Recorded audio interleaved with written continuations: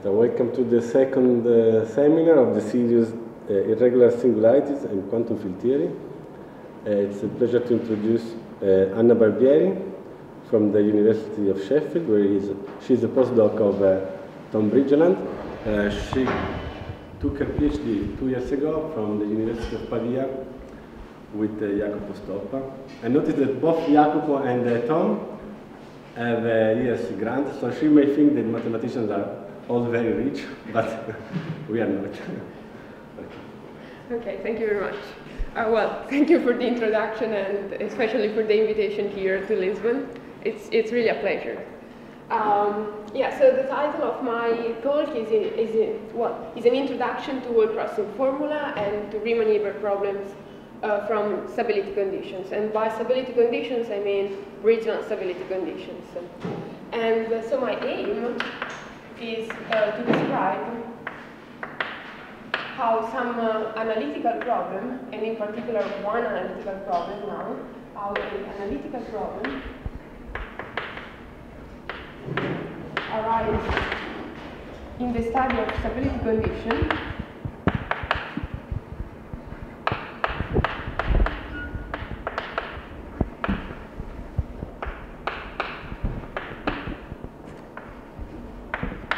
which are purely algebra geometric uh, objects. So stability conditions uh, were, well, the stability conditions I'm, I'm going to, to, talk about were introduced by Bridgeland in uh, 2006. Um, and they are a, you know, try to give a mathematical uh, formulation to pi stability uh, studied by Douglas, which is uh, a physics concept. And they are defined for some categories. So I had no idea of, yeah. So you wrote uh, analytical proof of Problem. Problem. problem Ah, problem, yeah, sorry. and the continuation? Uh, arises in the theory of, uh, sorry, it's, it, I tried to, to, to, to write uh, bigger. Yeah. Mm. Um, yes, so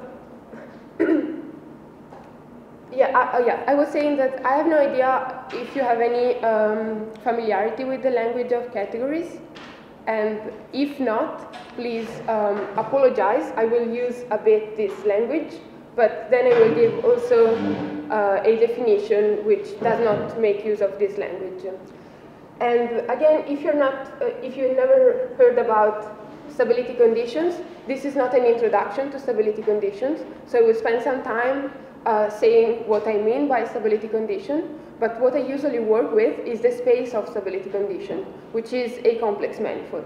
So um, a part of the talk will be about uh, giving an idea of what a stability condition is, and then in the rest of the talk we will talk about the space of stability conditions. And uh, yeah, um, my idea so is, is first to, to say something about stability conditions, and in particular the space of stability conditions.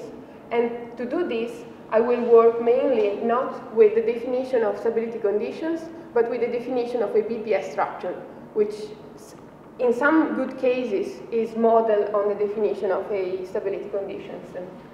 And then I will introduce the Soibelman wall crossing formula. and third, I will introduce a Riemann-Hilbert problem. And the key point is exactly this uh, Kontsevich and Soibelman wall crossing formula, because this is the reason why the Riemann-Hilbert problems uh, defined by a BPS structure or by a suitable stability conditions condition make sense. And uh, the last point, uh, at the end, I would like to give an example of how to construct um, in a concrete in a concrete example a BPS structure or a stability condition. Of course, time permitting and my voice permitting. So let me start um, with a sketchy definition of uh, stability condition.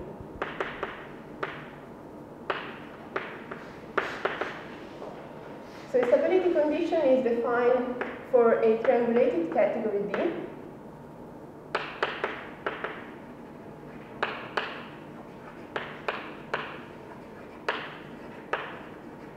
And for simplicity, I assume that this category D has a finite rank Grothendieck group.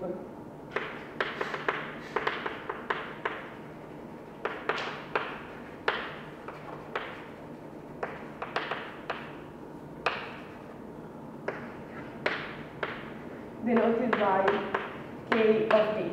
I will give an example. I will I will construct the Grothendieck group for the for the sorry for the example uh, at the end. For now, let's just assume that it is a group with finite rank. Hmm? And the Grothendieck group in general contain classes of objects of the category. So if D is an object, if D is an object of the category D, I will denote with this symbol its class in the Grothendieck group. So given, given D, a stability condition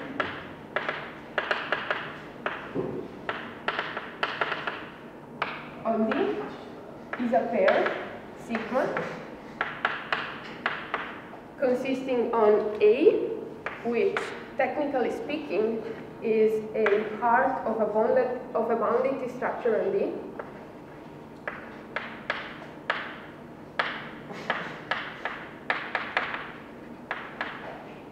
and in particular, A is an abelian category sitting inside D. And its Grothendieck group is isomorphic to the Grothendieck group of, uh, of D. And Z is called a central charge or a stability function on the abelian category A. Um, and this is a homomorphism from the Grothendieck group in C star. and this pair should satisfy some assumption. So it is such that if E, an object of D, is also an object of A, then the central charge of the class E um, belong to a fixed half plane in C star.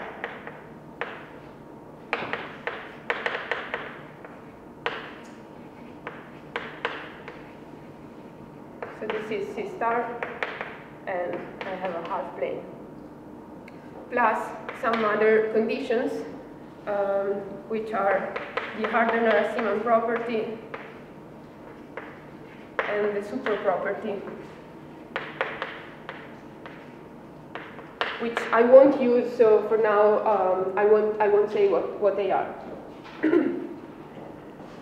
okay, so this is, uh, this is a, an idea of what a stability condition is, and given a category, we can, given a such a triangulated category, we also define stab of D, which is the space of all the stability conditions on D,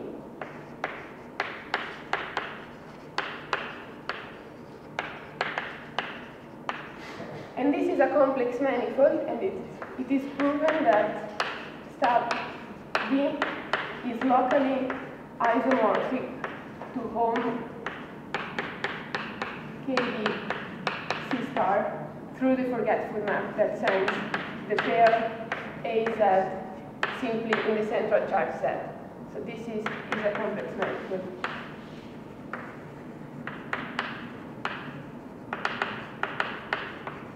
of dimension the rank of, uh, of the Grothendieck group.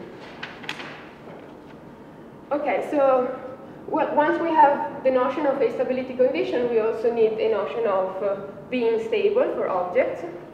And we say that uh, if sigma consisting in A and Z is a stability condition on a category D, then an object T in D um, is sigma semi-stable if uh, T is an object of A and for every subobject S of T, again this, this is a concept that I will try to explain with the example later, um, then we have that the phase of Z of S is less or equal than the phase of Z of T.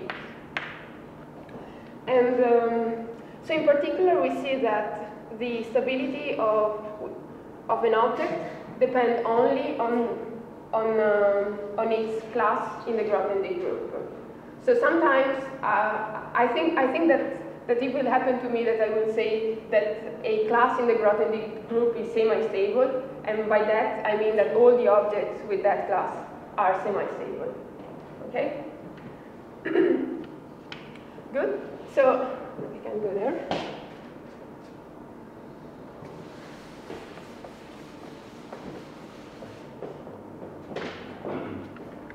Last information about this is that in some good cases,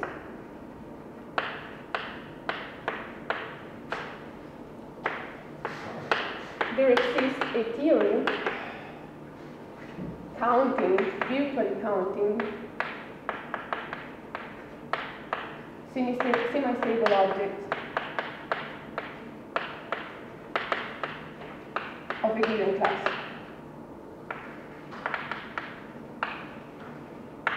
When such a theory exists, it's called generalized Donaldson-Thomas uh, theory. And for now there are, well, as far as I know, there are two different ways of encoding the semi-stability into some map.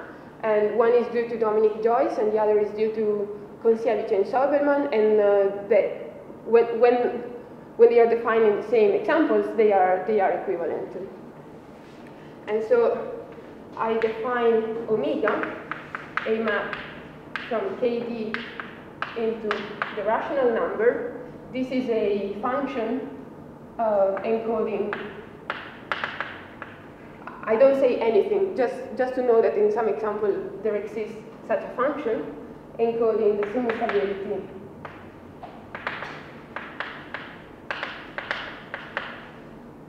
of classes in K of B. And the numbers omega of alpha, where alpha is a point here, are called the BPS numbers.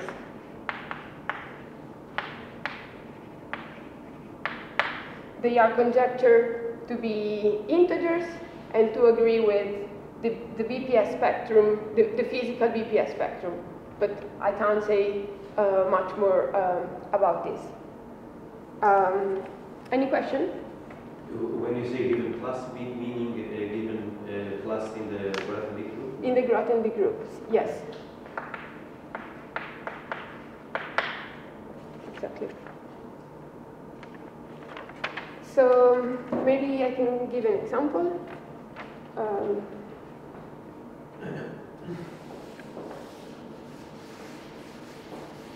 and, and you are, uh, I mean, so I'm used to examples of, uh, let's say, algebraic varieties. Yes. Are you choosing some uh, specific field? Uh, I, I usually work, uh, work over C, yes. I mean, yeah, okay. Yes. Um, yes, sorry. Um, so just an example, and then I will give a working definition uh, of stability conditions.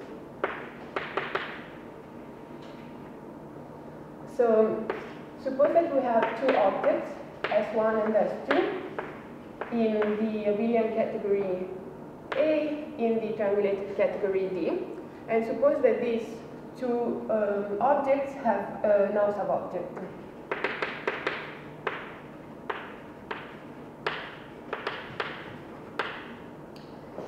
And then we can assume that there exists another object E, which again is in A, such that S2 is the only subobject of E. And moreover, that the class in the Grothendieck group E is equal of E is equal to the sum of the two classes S of S1 and S2. So in order to define a is a um, stability condition, I need to choose a, a heart and then to define a central charge. So for instance, um, I will have that uh, this vector, this is the plane C star, this vector denotes the central charge of S1, and this vector denotes the central charge of S2. And since Z is a homomorphism, then the central charge of E is here. Okay, so S1 and S2 have no subobjects, so whatever central charge we choose, they will be, um, oh, this is a bad choice. They will be semi-stable by definition, because the definition of semi-stability involves only um, the subobjects of a given object. While E has a subobject, and we assume that the only subobject is S2, so in this example, the phase of the subobject is greater than the phase of the object E, so E is not semi-stable. So in this case, S1 and S2 are semi-stable, and E is not. Let's call this um, this charge Z prime. But we can also give another configuration. For instance, we can assume that Z of S2 is here, and Z of S1 is here. And so Z of E is here. Again, S1 and S2 are semi-stable by definition. And now also E is semi-stable because the phase of S2 is less than the phase of E.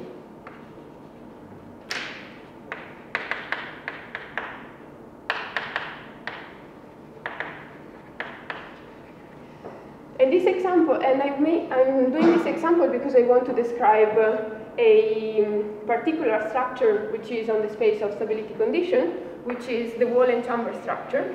So suppose that this is the complex manifold stab of T, then this is divided into some chambers, like this.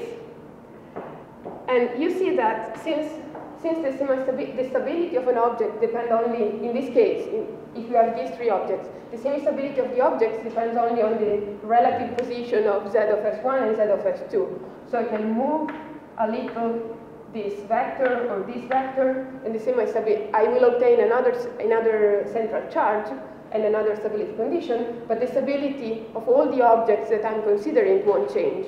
So in each chamber, each chamber is defined in such a way that the very same objects are semi-stable with respect to the stability condition in that, in that chamber. So for instance, here we have A, Z prime. Of course, this configuration belongs to a different chamber because there are other objects which are semi-stable. okay, and again, also here I can move slightly the, these vectors, Z of S1 and Z of S2, and they will have different stability conditions, but with the very same semi-stable object.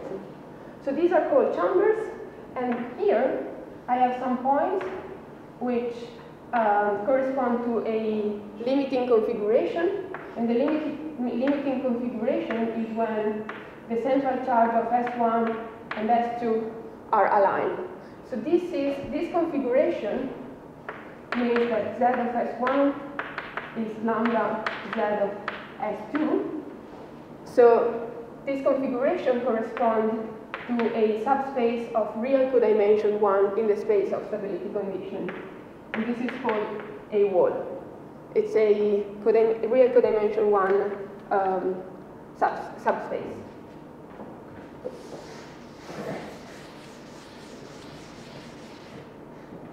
So in each chamber, if we have such a theory, the, the BPS map will be constant. But of course, the BPS map will change um, if I consider this map as a map depending on a central, well, on a stability condition, will change when I cross a wall. And the wall crossing formula by Kontsevich and Soibelman tell us that if we know the BPS map in one chamber, we are also able to recover the BPS chamber, the BPS uh, map in, in a contiguous chamber. So this is the result by Kontsevich and Soibelman.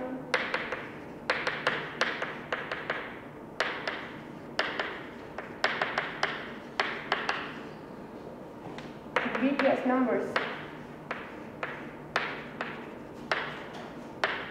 on a chamber H1 determine the BPS numbers on H number H2 with a common boundary.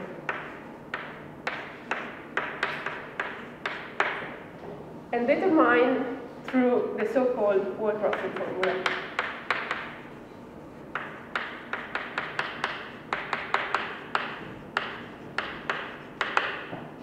Um, do you have any question? It's okay? Great. Um, so, so now I want to give you formula, but in order to do this, I need more notation. And that's, so now I, I and for, for, for having this more notation, I prefer to work with uh, this new definition that I'm going to give, which is the definition of a BPS structure.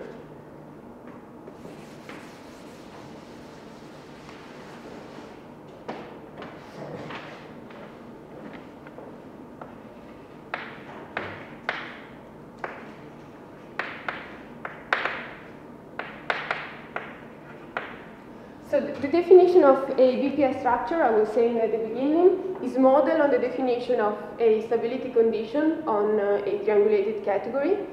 In the case that that triangulated category has another um, property, which that is, it is 3-Calabi-Yau, and moreover, we need that there exists a well-defined theory of those invariants, those BPS numbers.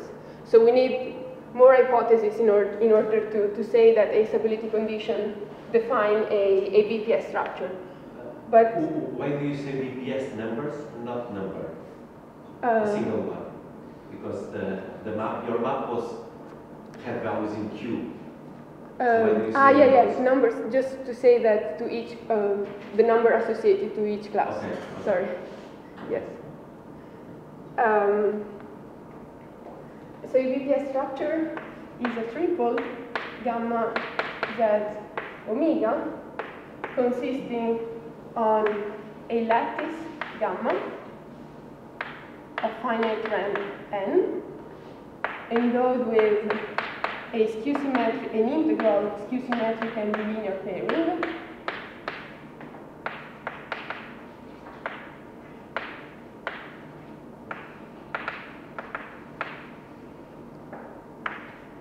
Z is a homomorphism from gamma to C star, and we call it a central charge. And omega is a map of set from gamma in Z. We assume that these numbers are integers, um, such that omega, which is symmetric in the sense that omega alpha is equal to omega of minus alpha and uh, satisfying um, some other conditions. Again, I, I, don't, I, I don't explain this condition, which are the support property and a convergence hypothesis. So notice that if you remember, I said that the central charge map all the objects of a given heart in the same half plane. While here, I'm saying that these numbers encoding the stability uh, of, of objects are symmetric. So I'm taking also these, uh, these maps, uh, the, these objects minus alpha. And the reason for that is that here I'm, I'm really considering all the, the stability conditions on the triangulated category.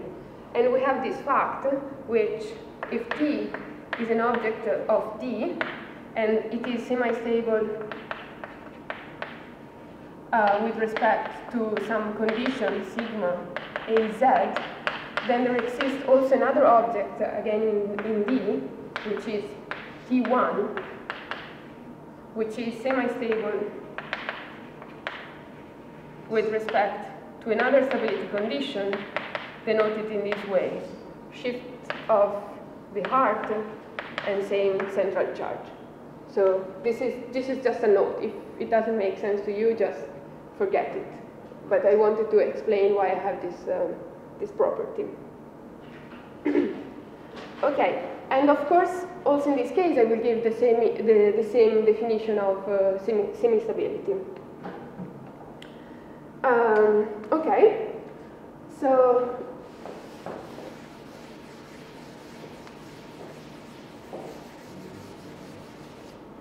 it, make it, it makes sense that this is modeled on a, on a stability condition because, oh, I erase it, because locally the space of stability condition was uh, the home of some group in 2C star. But, but in this case, it would have torsion.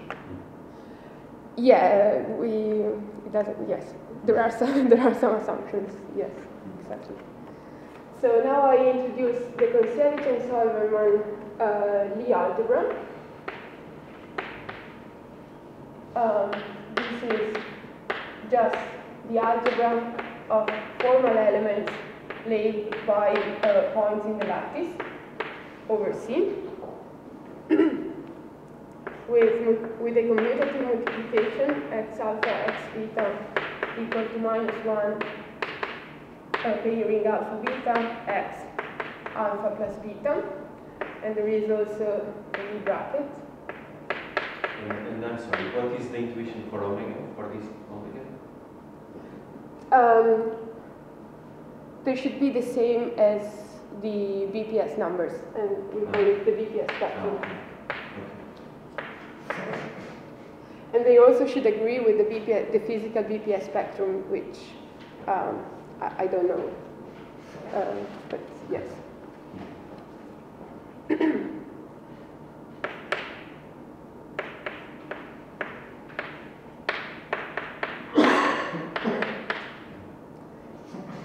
Yeah, yeah. So, so here it was really saying that these these these numbers, this map should encode the semi the stability of uh, the classes of my um, of my group of my lattice. so I have this uh, this algebra. I also introduced this notation by L alpha. I mean a ray emanating from the origin in the complex plane in the direction of the central charge of an element alpha And uh, if omega alpha is non-zero, we call L alpha an active ray. And also we call the, um, alpha an active point. And then I have the we have the Kontsevich and Soibelman automorphism,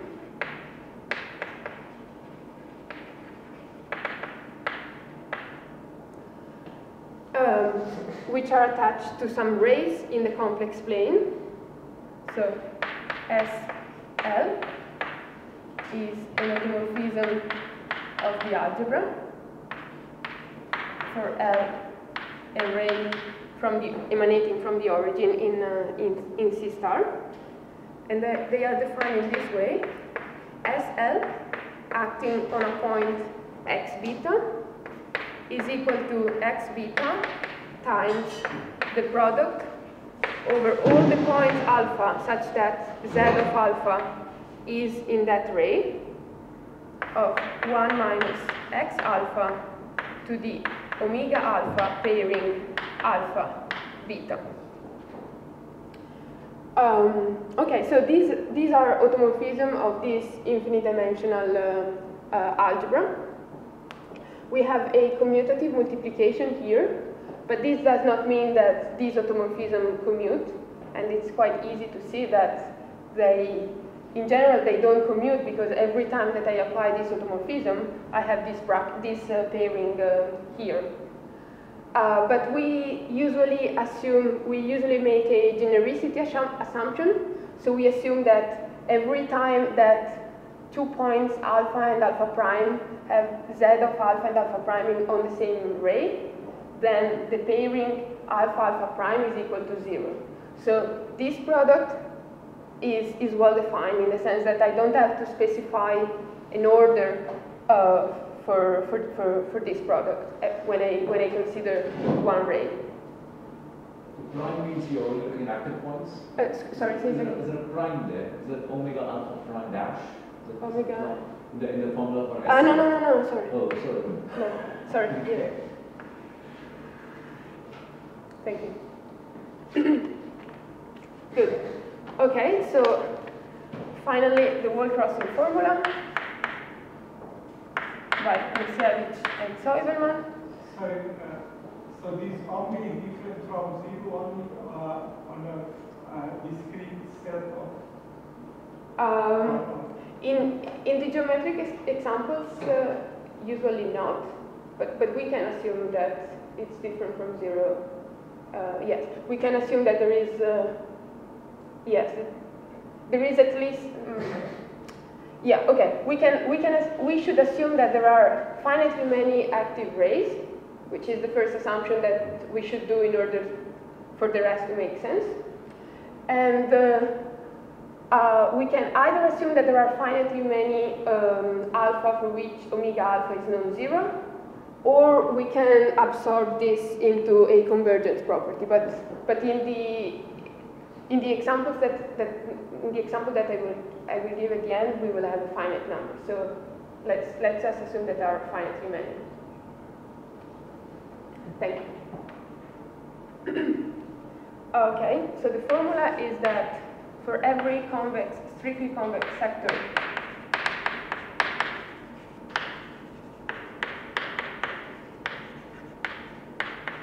delta in C star, the BPS spectrum.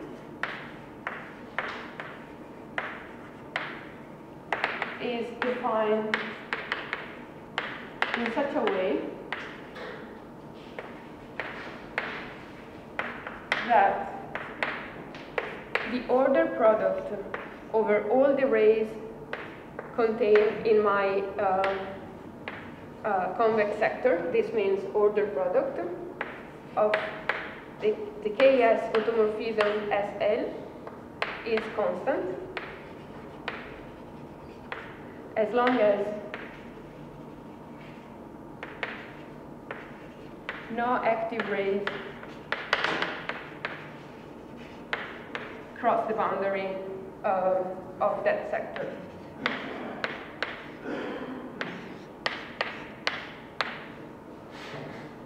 Um, so an example, I will use the very same example as before.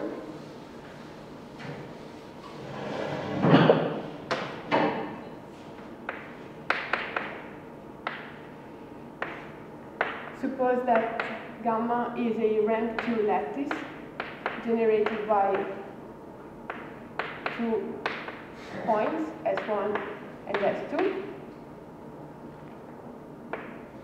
And they have, a standard pairing defined by S1, S2 pairing equal to 1.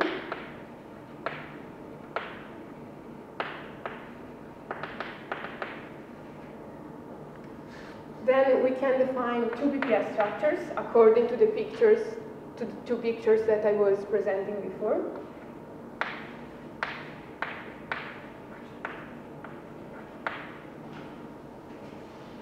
Um, here we have gamma z prime omega prime, um, where I say that uh, this is z prime of s1, this is z prime of s2, and um, I'm, I'm taking I'm taking uh, the rays. So this is L1 and this is L2. Because of the symmetry of omega, I will also have minus L1 and minus L2 corresponding to the direction uh, Z of minus S1, that is minus Z of, S of S1. And um, in this case, we assume that omega prime of S1 is equal to omega prime of S2 which is equal to 1, and omega prime is equal to 0 um, otherwise. So this is, this is based on, on the first configuration where we had these two semi-stable objects. And of course we have many other rays. In particular, we have the ray LE uh, associated with the direction of Z of E in the in the previous as in the previous previous example. Okay, and. Uh,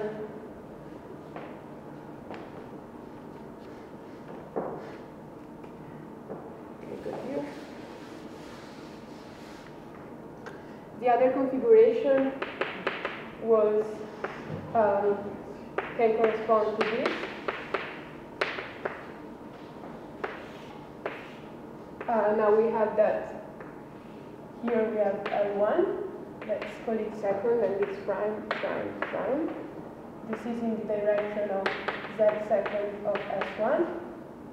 Here we have L second of 2 in the direction of Z second of S2, the opposite rays, and also a ray L second of E, and minus L second of E. So to each ray in the complex plane, we associate the automorphism of this type. Of course, it makes sense to consider such an automorphism only when the BPS spectrum is non-zero on, uh, on, the, on the points uh, with central charge on that ray. So in this case, we will consider these automorphism associated with L1, L, L, L1 prime, L2 prime, and their opposite rays. And such an, uh, so here we have S L1 prime. This is an automorphism of the Kontsevich-Soibelman algebra. I need to know what it does on the generators. So it sends x1 in x1 because the pairing S1, S1 is equal to 0. But the pairing S1, S2 is equal to 1 by hypothesis. So here it acts non-trivially, and it sends x2 in x2 times 1 minus x1. Sorry, xi correspond to x uh, si, of course. And then I have um, omega s1 and the pairing S1, S2, which is equal to 1. Okay? And again here, for L2, I have an automorphism as L2 prime, sending x1. Now it acts non-trivially on x1. So this is x1 times 1 minus x2 uh, omega uh, s2. And the pairing um, s2, s1 is equal to minus 1, so minus, but it is trivial on x2. So these are the type of um, automorphism that we have. I can erase this now. And this, the, the, similar automorphisms, of course, are associated uh, to, to, these rays with a different uh, central charge. So we had, here we had this two active rays. Again, this must be active, and I anticipate that this will have non-zero um, BPS, uh, uh, BPS uh, spectrum because it was, uh, it was active. And the Soibelman wall crossing formula is just telling us that given a convex sector, let's take the same, here and here. The order product of the automorphism associated with the rays is the same. So let's go, for instance, uh, uh, counterclockwise. Uh, we have that uh, S L1 prime composed with S L2 prime. This, on that configuration, must be equal to S L to second composed with S L second composed with S L1 second.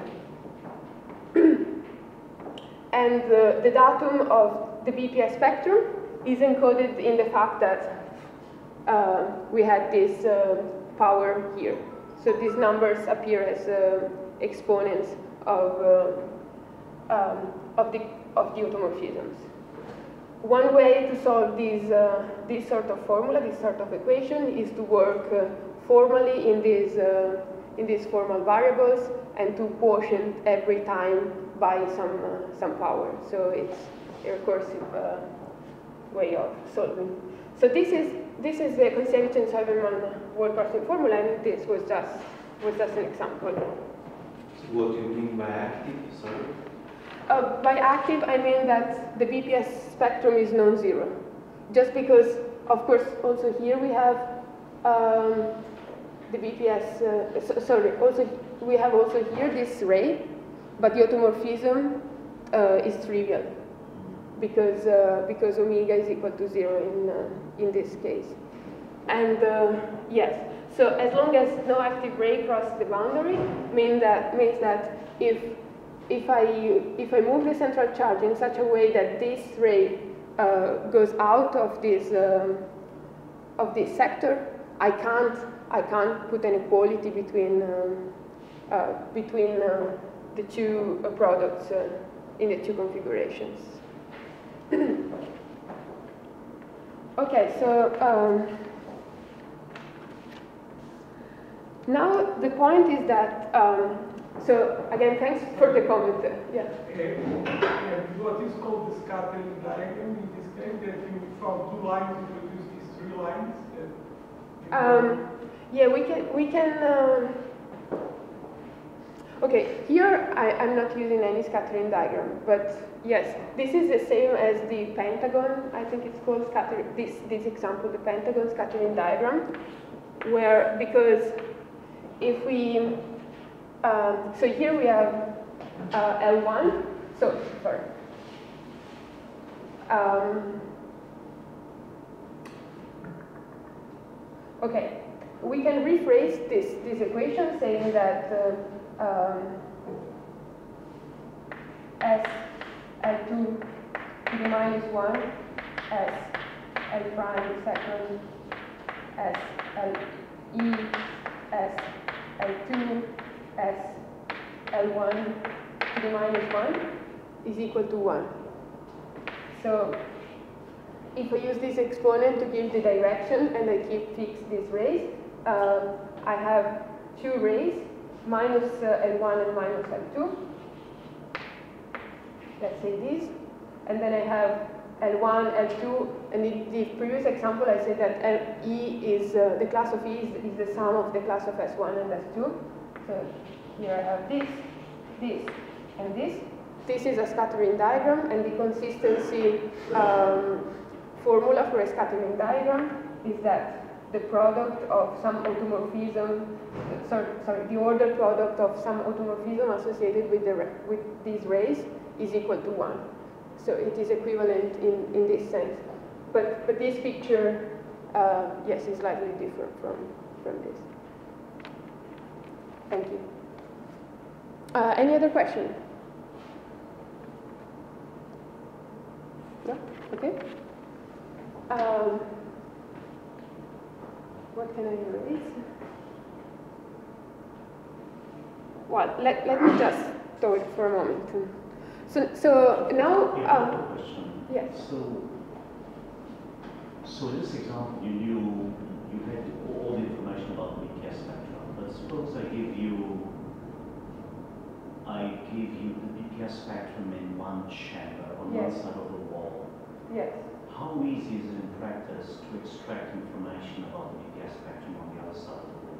I think it's not is not easy because well we always know that those those objects without subobject have a non-zero BPS spectrum and let's say that this is also always equal to one. So if I want to solve this equation, here I will have a product of this type. Um, and suppose that we know the, the omega on this side. Now here I will have another product. I, I know the omega for this for this um, ray, and I know the omega for this ray because I was assuming that uh, they have no subobjects. Well, putting together the various examples that, that, I, that I gave, or assuming this. And here I could have an arbitrary number automorphism associated with an arbitrary number of, um, of rays here in this uh, between L1 and L2. And a way for, um, for knowing which rays are here and what, what are their BPS numbers is, is, as I was trying to say, is to work formally. So I write down, I expand this product, and I expand this product. And then, of course, this is a huge product, but I, I can quotient every time by some powers.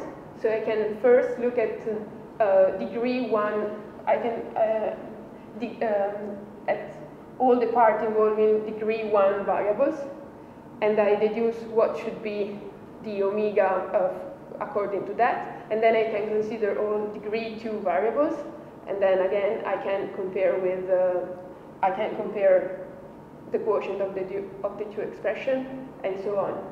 But, but there are some geometric examples where here I really have infinitely many uh, rays. So, but in, in those cases, I, yeah, I don't know. So, and, and it's also really non-trivial to say, to, to prove that in some cases, those numbers really are integers. Because a priori, for, for the first definition that I gave, they should be uh, rational numbers. But, um, yeah, I, I, I, tried once, to be honest, to do this computation, just to, to prove myself that you can do something, but that, that was the only time that, that I did that. Okay, uh, so another comment about this formula is that a formula like this is exactly the same as a formula for, as is exactly, well, is very similar to the isomonodromy condition for a system of differential equations with uh, a pole of order 2. So the fact that we have this formula uh, makes natural now to associate to a BPS um, structure a Riemann-Hilbert problem, or better saying, to interpret this pair consisting on array and on a, a automorphism as the Stokes data, uh, which, uh, which define the monodromy of some differential equation. So should I say something about Stokes data, or yes, okay? Um,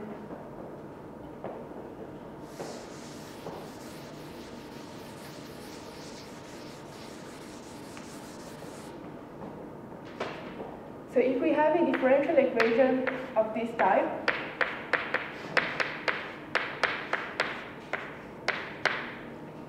where u and v are in some algebra, and supposing GLN, and u is diagonal and V is skew-symmetric.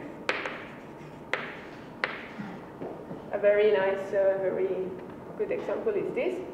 Then there is a way of defining the monodromy of this equation. So the monodromy will, will tell us how the solutions uh, uh, behave around the pole of order 2, which here is the origin.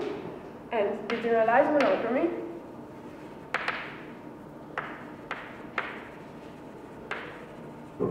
in this case is encoded in the Stokes data.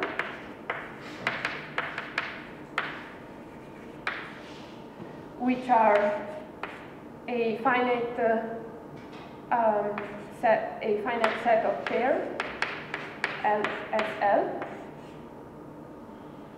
where L is a ray from the origin in the direction of the eigenvalue of u. And um, SL is a automorphism in GLN. So we have that given uh, if x, this is lambda, if x is a solution to this equation, uh, then um, there are some, uh, the plane, the complex plane where t lives is divided into sectors uh, defined, defined by, by u. And um, this, this function here is a piecewise uh, continuous function.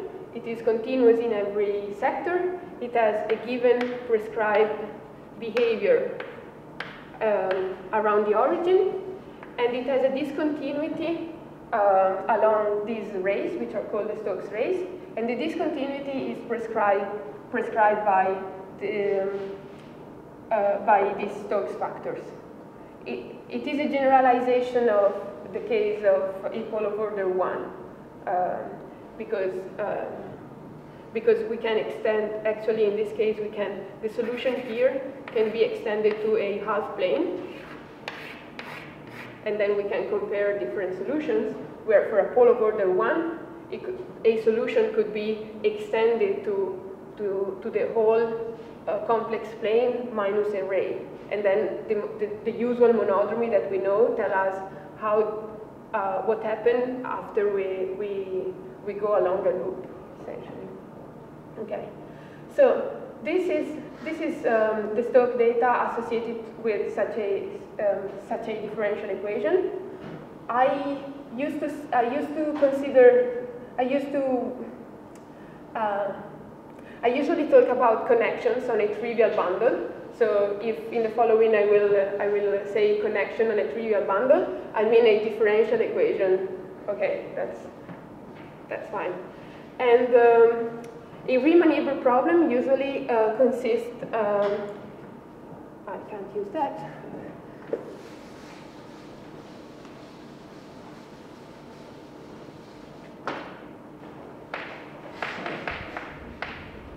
Um, classically, it consists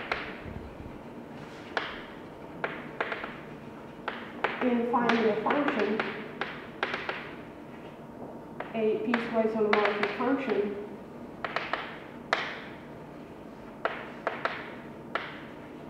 x uh, from C into some manifold uh, uh, with prescribed discontinuities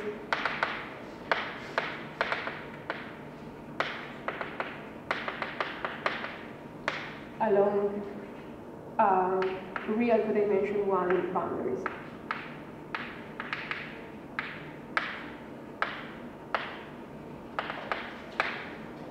So we can impose a Riemann-Hilbert problem where the boundaries are rays emanating from the origin and um, with value in uh, some space.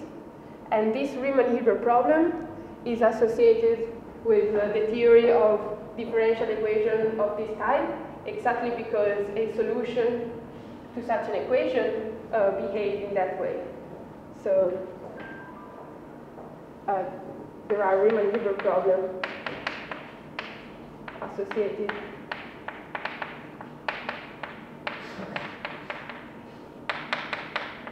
with this type of equations. Uh, in that case, I should also prescribe a behavior at the origin. But the point is that um, we have we have this again assuming finite number of uh, rays in our picture uh, defined by the BPS structure. We have this uh, number of rays, and to each ray we have a associated a automorphism of some, uh, of some algebra. And so we can define a Riemann-Hilbert problem consisting in finding a piecewise holomorphic function uh, in the sectors um, bounded by the active rays of a BPS structure and with uh, discontinuities prescribed by the Kontsevich and Soibelman automorphism. And this problem that can, be, can appear as totally arbitrary because actually what we had, we had just a BPS structure and we could define uh, in, any, in any possible way a bunch of rays and of automorphism. But that problem is natural and it makes sense exactly for the Kontsevich and Soibelman wall crossing formula because that formula is the analogous of the isomonodromic condition for connections of, of this type. So this is the analytical problem that uh, I wanted to, I wanted to, to introduce.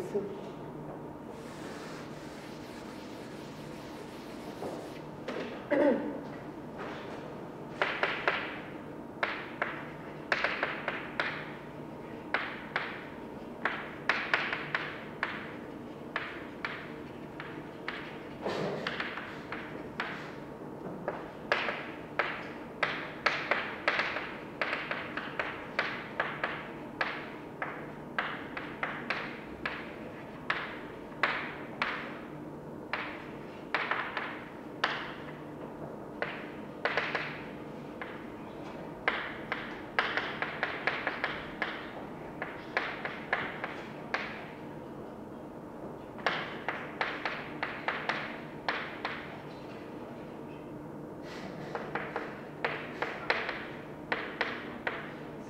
to obtain such a Riemann-Hilbert problem. Yeah, okay.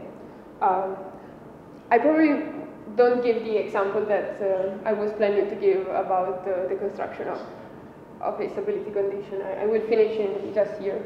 Um, so this data give this, um, give this Riemann-Hilbert problem, and uh, we can uh, try to solve this uh, with value in uh, the Kontsevich-Soibelman Lie algebra.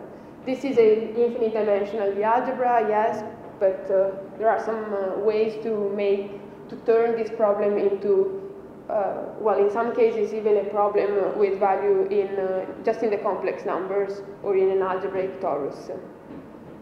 And um, the point, well, from my point of view, for what I for what I know, the main point of solving such a Riemann-Hilbert problem is to associate to some open subset of the space of stability conditions, which is uh, uh, which had that um, Wallen-Chamber structure, a family of meromorphic connections on a trivial bundle over CP1 of that type. And this and such a family of isomonodromic connection um, is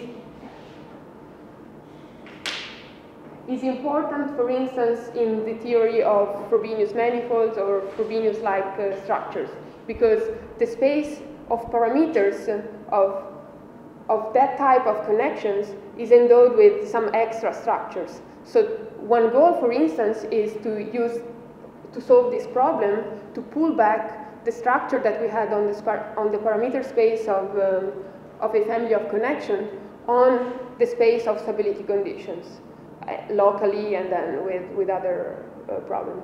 And I will finish just saying a, a few words about uh, who consider this kind of problems. So these type of problems were considered uh, in the mathematical literature uh, with value in uh, C gamma plus other assumptions by Filippini, Garcia Fernandez, and Stoppa in 2013. Um, the setup was not exactly the same, but very similar. And then they were reconsidered in 2016 by Bridgeland um, in a setup more similar to this, but with very strictly conditions in a very specific example, then I also consider this kind of problem generalizing the construction by Tom Bridgeland. And another approach, and, and in, uh, in, the, in those works, we don't work with this formal algebra, but we work on a complex torus. And there is also another approach by Bridgeland and Allegretti, consisting in uh, using, some, using some theory from um, cluster varieties uh, to, to give a solution to, to, to this type uh, of, um, of problem. And yeah, I think it's better to stop here. And if you want, I can, I can give the example later, maybe. Uh, thank you for the attention.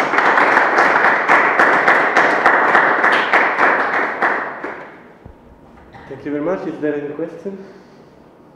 Yeah, so in, in this formulation, in terms of connections, yes. of connections, what is the concrete mileage you get out of it? The concrete? The mileage you get out of it. So, sorry. What you get out of it in addition to what Kontsevich-Soibelman knew already? Um, to when, me, when, when, you do this reformulation yeah. in terms of Riemann Hilbert and connections yes. and that, what exactly are you aiming at? Yeah, uh, my goal for, for, me is to is to take the space of stability condition that is a complex manifold and to endow it with more structure. And we would like that this structure carries some enumerative uh, information. Carries? Carry some enumerative information. So, for instance, in, a, in the theory of Gromov-Witten invariants, which is somehow parallel to the theory of uh, the, B, the BPS uh, invariance, we have, um, we can, uh, um, Dubrovin used this, uh, this Gromov-Witten invariants um, to, to define this Frobenius structure. And he also proved that uh, um, locally, um, the space of uh, parameters of a family of isomonodromic connections uh, of this type, um, it has this Frobenius manifold structure. So if we want to, to study this sort of parallelism between the two theories, we may wonder whether the space of stability conditions as a complex uh, manifold carries some structure which is similar to the Frobenius uh, manifold structure, which is defined by the Gromov-Witten invariants. And uh, so this is, this is one, of, uh, one of the goals. Another goal that um, um, people have is um, there is a definition of um, cluster varieties.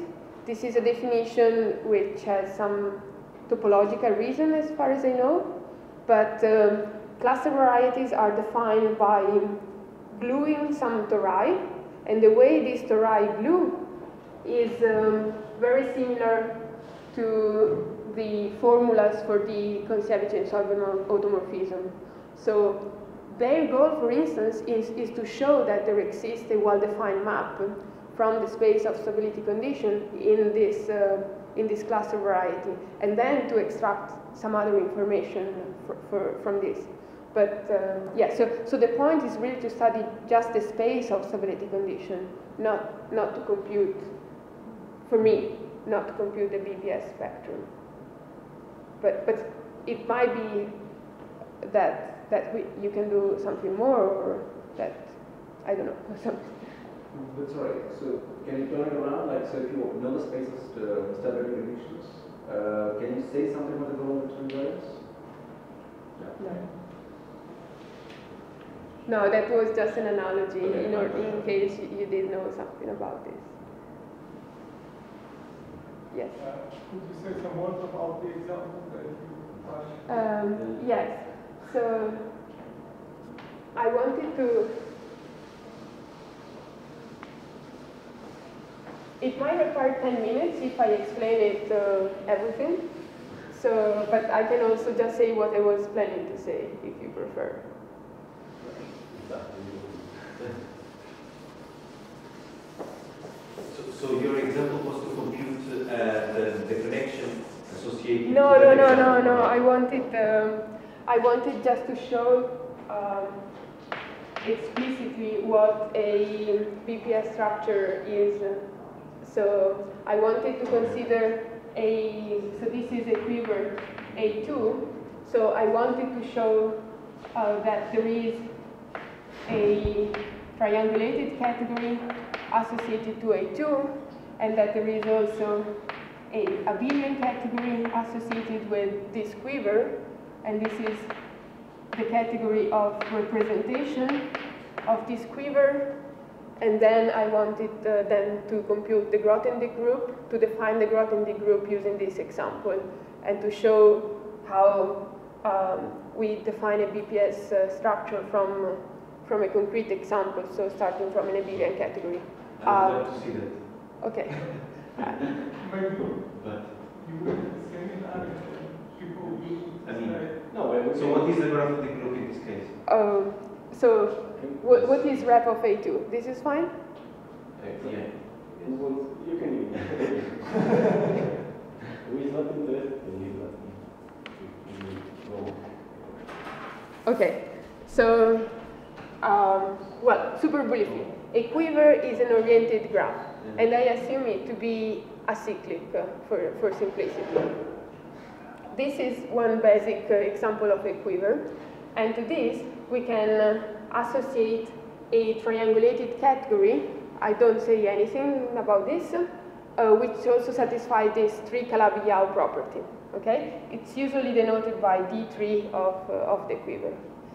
And there is, a, there is also this standard abelian category associated with a quiver, which is the category of representation of the quiver. And this is the heart of a bounded structure for this triangulated category. So what are the objects of this uh, category? The objects are sequences of vector spaces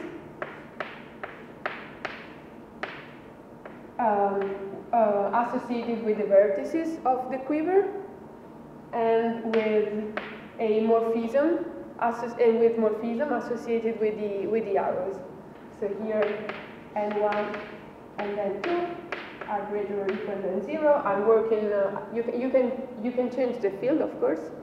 And F is a homomorphism from C and 1 to C and 2. And the morphisms in this category are, um, are a, a set of morphism between the vector spaces of this uh, representation. So if we have two, if we have two objects, say S, sorry, T1, uh, no, S, C and 1, F, C and 2, and here C, C, M1, G, C, M2, a morphism from S to T is this set of morphism, P1 and P2, in such a way that this diagram um, commutes.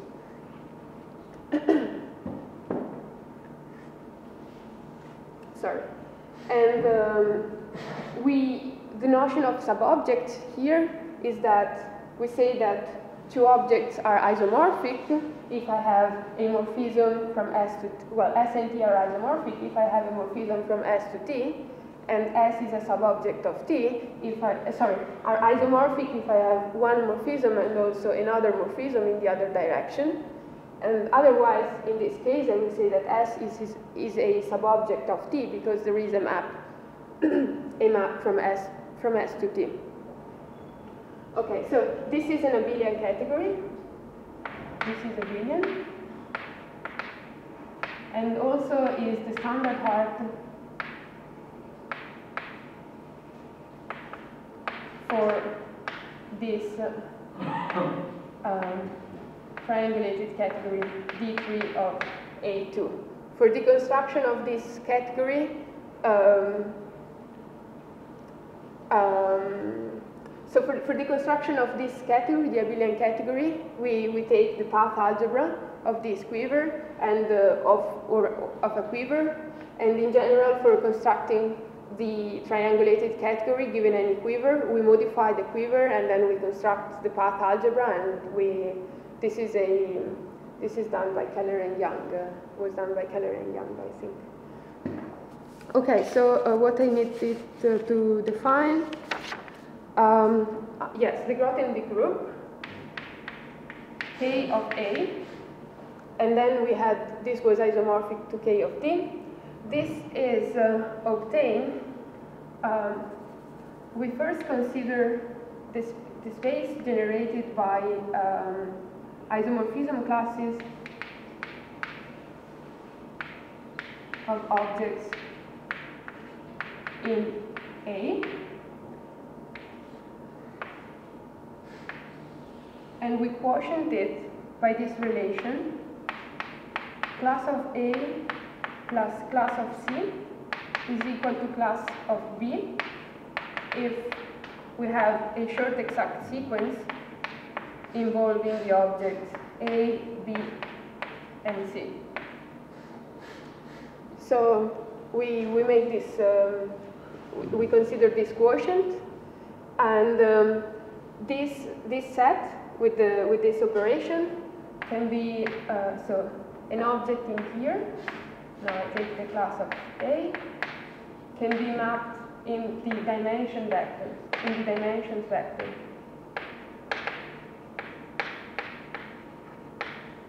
Which is if A is, sorry, this is A, its dimension vector is n1, n2. Okay, and then we obtain the Grothendieck group by taking the formal inverse. So by making this into, into a group. Here, of course, we have that n1 and 2 are greater or equal than 0. And so uh,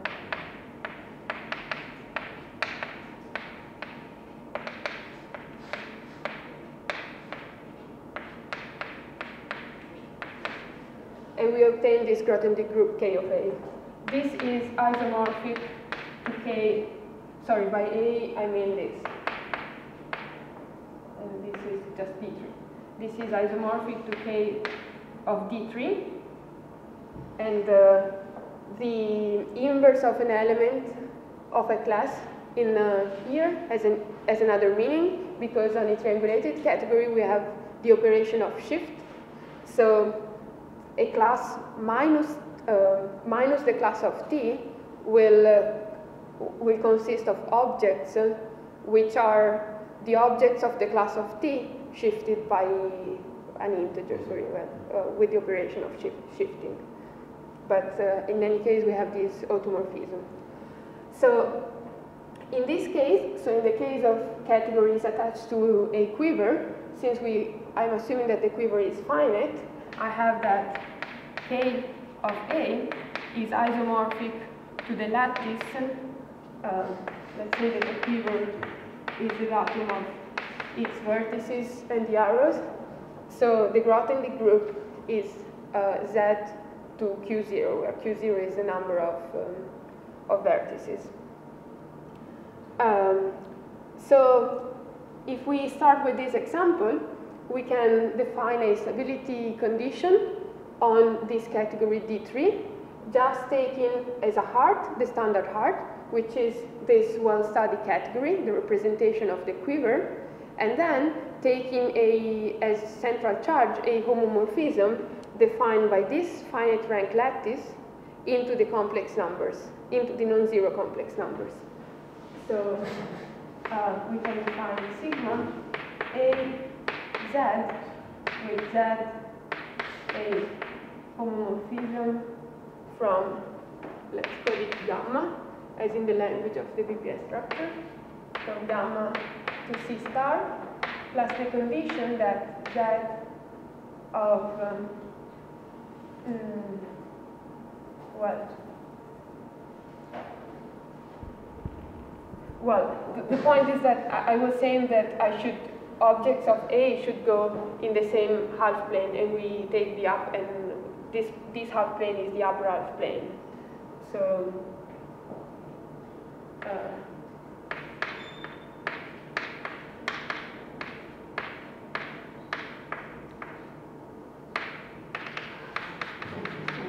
this is the half plane in, uh, in C star. So in this example, we really have two simple objects which have no sub-objects, and, and they are the objects which have um, one-dimensional space associated with one vertex and zero-dimensional uh, spaces uh, on the other vertices. So this object S1 is C0, and S2 is 0C. They define, uh, their classes define a basis for the Grothendieck group, of course, and the pairing is the pairing that we have, uh, that we have seen. Um, okay, so I, I can introduce also this other object, E lambda, was uh, dimensions vector is 1, 1. So here I have to prescribe a morphism, and the morphism that I can define from C to C is a multiplication. So assume that lambda is non-zero, and it's quite easy to see that for every lambda which is non-zero, all these objects are isomorphic because um, we, well, just changing the basis, of course. And we have in this case that S2 is a subobject of E lambda for every lambda because if I take S2 um, and I take uh, E, I want uh, to, sorry, I didn't say, to define a, to say that it is a subobject, I obviously mean a morphism which is non-zero. So here I have zero, here I have lambda, uh, here I just have the inclusion, which is the map zero, here I take lambda, and this is a commutative diagram. So S2 is a subobject of E lambda for every lambda. S1 is not, because if I take this, and I want, this is E lambda and S1, and I want to define a morphism, here I, I, should, the only morphism that I can define is the multiplication by zero. Here I have lambda. This can be nothing else by zero, or the inclusion of zero into C, and the only way that I have to make this diagram commutative is that this morphism is zero. So this is the zero morphism, is not an interesting morphism, so S1 is not a subobject of E lambda. And I have an extra object, which is E0, um, C, C with the zero map. I can see this as um, this, well, this is really the same. They are isomorphic, it's clear. And this is the direct sum of S1 plus S2. So, so both S1 and S2 are subobject of this, um, um, of this object. So from this we deduce that there, is, there exists a short exact sequence um, S2 E lambda S1. Here we, also for E0 we have a short exact sequence of this type. Actually, in this case, we will also have the other exact sequence. But the point is that both E0 and E lambda, for every lambda non-zero, define the same class in the Grothendieck group, which is why the Grothendieck group is isomorphic to the dimensions vector. So we have, we have um, yes, we have exactly uh, the basis for defining all the examples that we, we have seen during the talk because uh, I have a finite rank Grothendieck group, I have two uh, simple subjects with no subobjects. For every central charge that I find, they will be semi-stable. And I have an object uh, E for its class was, yes, here, was class is the sum of the class of S1 and of S2, and it has as uh, subobject S2, but not S1. So um, if I consider the space of stability condition, stab of D3, there will be a portion of this space which consists on condition supported on this standard heart. Of course, I can change the heart, but we don't go into that those details. So here I will have all these uh, conditions supported supported on uh, this heart, where sorry, the heart is that of A2, and that is an arbitrary central charge. And uh, this portion, so forget about this for a moment. And this portion is divided into two chambers corresponding to the stability conditions making S1, S2, and E semi-stable and the stability conditions making uh, just S1 and S2 uh, semi-stable and not E. And of course, the, the, very same picture can be, can be done also for any other quiver, and we will have some more complicated uh, examples, more, more, more simple points to, to consider in order to just to see what, what happened for... So what are the BPS numbers in this case? The BPS numbers in this case are, are here omega S1, omega S2 equal to 1, and here omega S1, omega S2. And I think also omega E equal to 1. Uh, I should, I should uh, check, but uh, uh yes, this, this bit, and 0 otherwise. And um, there, are, there is also another theory, the theory of DT invariants, that, uh, so it, it's clear that if here I take um, a multiple of this class, um, this, the subobjects will be related and etc. etc. So also some other points will be semi-stable. And usually the invariants taking into account also these, uh, these multiple are denoted by dt. Just, just in case you see both the notation in papers. And, and, but there is a relation, there is an equation uh, involving the two. Yeah, so this, this was the example that I wanted to, to present. Thank you. Okay,